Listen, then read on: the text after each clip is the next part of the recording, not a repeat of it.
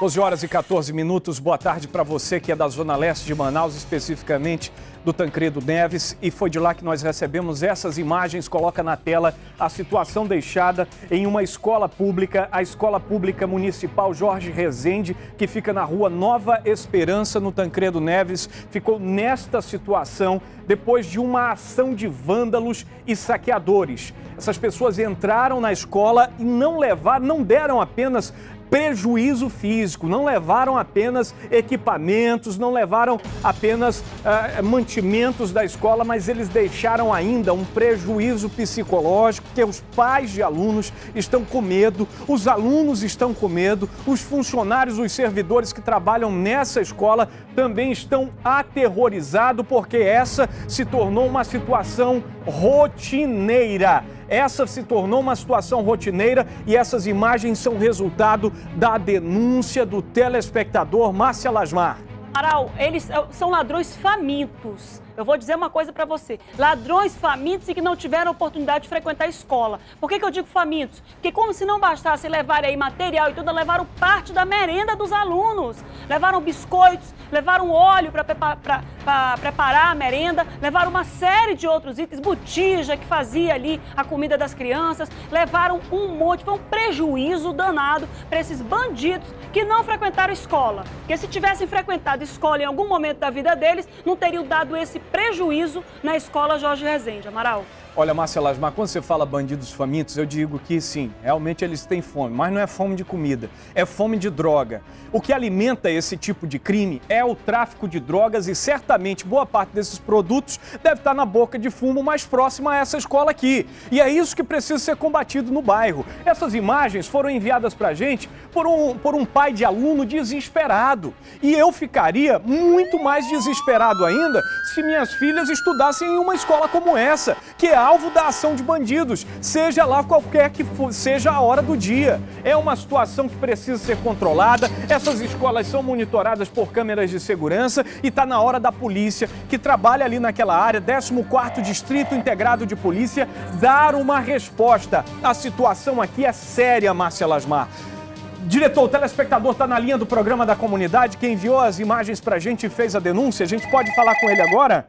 Vamos manter a identidade dele em sigilo para que não seja prejudicado. São 12 horas e 17 minutos. Como eu falei, essas imagens são resultado de denúncia, Márcia Lasmar, e é aquilo que a gente fala aqui, Márcia, todos os dias. Esse tipo de crime tem. Aliás, nós já mostramos uma situação muito parecida que aconteceu na, na, em uma comunidade da zona norte da capital, próximo ao Novo Israel, lá no Terra Nova, nós mostramos uma situação muito parecida de uma escola que semanalmente era alvo de bandido. Bandido entrava lá, levava parte da merenda, levava um ventilador, levava um ar-condicionado, levava uma botija, até que a polícia foi lá e prendeu o traficante maior, recolheu parte desses produtos, acabou, resolveu o problema. 12 e 17, pode falar com o telespectador, Márcia. Vamos falar agora com esse pai revoltado, chateado, indignado aí com essa ação. Alô?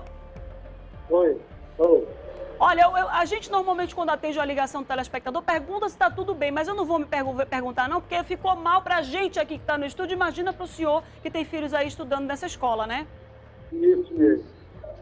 Como é que foi que o senhor encontrou a escola? A gente vê pelas imagens aí, mas qual foi a sua, sua é... sensação na hora de ver tudo isso ali pessoalmente? Foi. Foi de manhã, quando a minha filha foi ao colégio, chegou lá, o professor dizia que não ia ter aula porque a, a, a escola tinha sido assaltada de novo.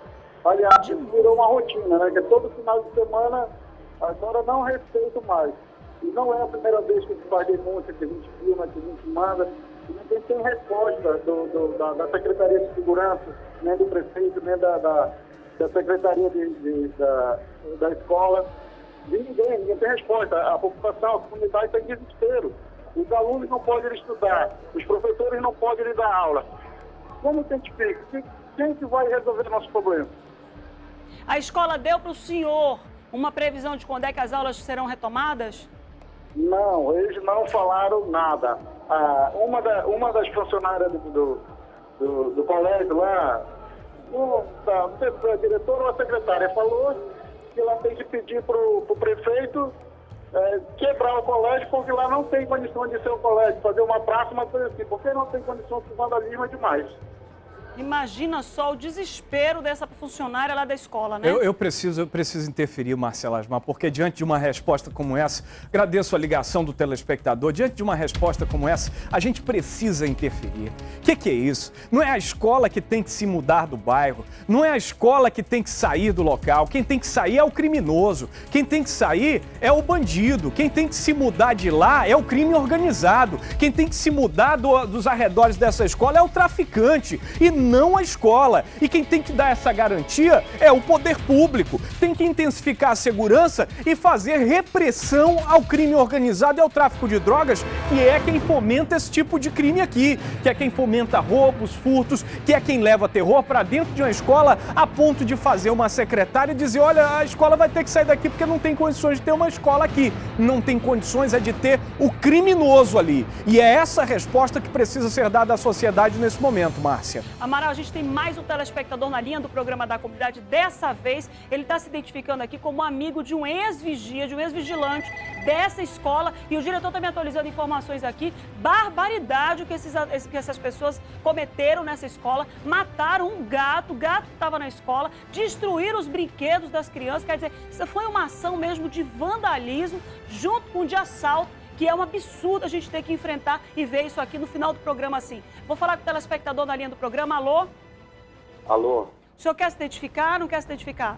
Não, não, não prefiro não. É, é o seguinte, isso aí é o, é o puro reflexo de, desse, desse pacote que o, o, o governo municipal é, é, oferece às famílias, entendeu? Existia uma segurança particular nesse colégio, entendeu? O que, que acontece?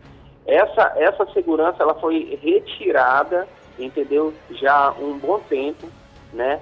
E simplesmente existia vigilantes nessa escola, né? E simplesmente o governo municipal vai e tira, entendeu? Quer dizer, existia segurança interna, substituído por câmeras de segurança, um, um, um é, é, que inibe esse tipo de ação. Se, é, câmera de segurança nunca funcionou em questão de inibição de, de, de, esse tipo de evento, entendeu? Então, é revoltante uma situação dessa, é, já tem ciência do, do, do, próprio governo municipal em relação a isso.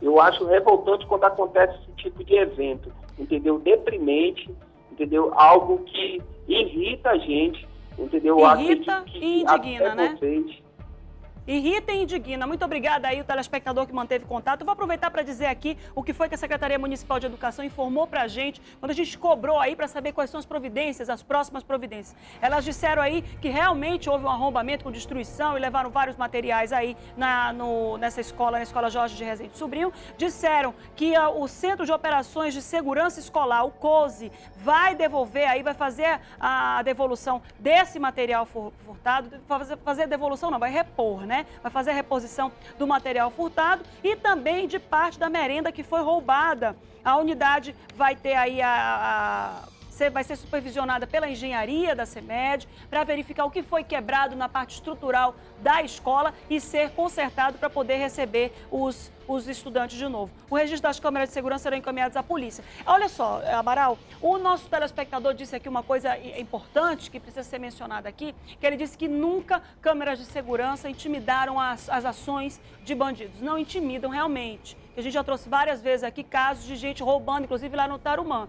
O assaltante não vai se intimidar com a presença de câmeras, mas identifica a autoria. E isso é extremamente importante. Identifica a autoria. Então, tão logo a polícia, que, né, que faz a investigação em sigilo, para não atrapalhar nas investigações do inquérito policial, disponibilize para a imprensa a ação dessas pessoas e as imagens desses autores, pode ter certeza que é questão de tempo para eles serem identificados e serem presos, Amaral. Só que não pode passar muito tempo, senão cai no esquecimento daqui a pouco a escola, que vai ter todos os itens repostos com dinheiro público, vai ser alvo de bandidos novamente e vão dar prejuízo de novo se nada acontecer. Tem que agir e agir no entorno. Volto a dizer, isso aqui é resultado do tráfico de drogas no entorno. Pode ter certeza que boa parte desse produto vai parar na boca de fumo mais próxima. E se não houver repressão, vai acontecer de novo. Nós já mostramos isso isso aqui. São 12 horas e 24 minutos. Queremos agradecer você que participou com a gente ao longo de toda essa edição. Você que liga, participa e confia na linha editorial deste programa, que é feito diretamente com a sua participação,